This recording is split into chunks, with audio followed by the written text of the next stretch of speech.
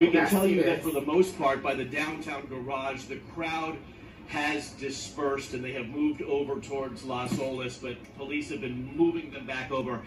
Here's the deal. I want to show you some video that was provided to us by a protester who was on the second floor of the garage. He says this is what started it all.